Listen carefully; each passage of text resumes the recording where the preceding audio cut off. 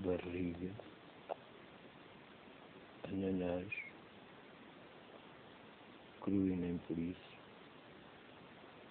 batata frita, ovo e os molhos suspeitos do costume. E eu também não.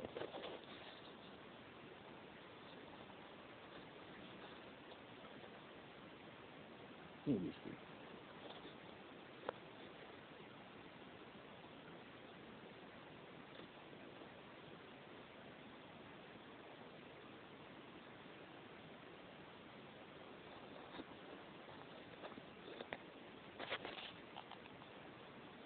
Let's